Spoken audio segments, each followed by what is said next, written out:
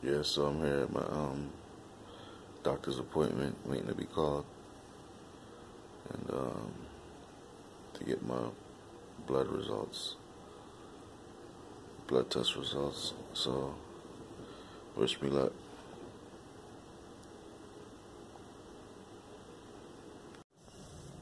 I'm in the office, the doctor's office.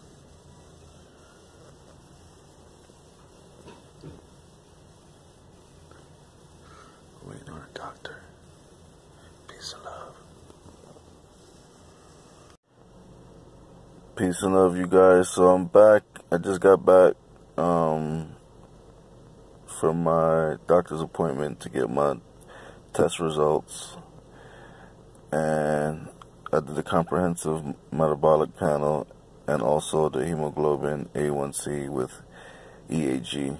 And I was concerned about uh, me being um, diabetic or like pre-diabetic, but it looks like I'm okay.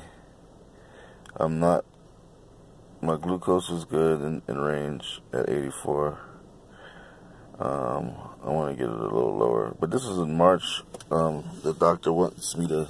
I came super late to uh, check my test results so I'm gonna make another appointment for Monday. Today's the 10th right now. So, but this is done. I did this blood test in March. So we're gonna do. They want me to do another um, comprehensive metabolic panel, um, and then um, uh, you know just to check you know the bad news and the bad. The good news is that I'm not diabetic. Uh, all my things, my um my numbers are looking good. Kidney function is good. My sugar is good. But guess what? Look at this.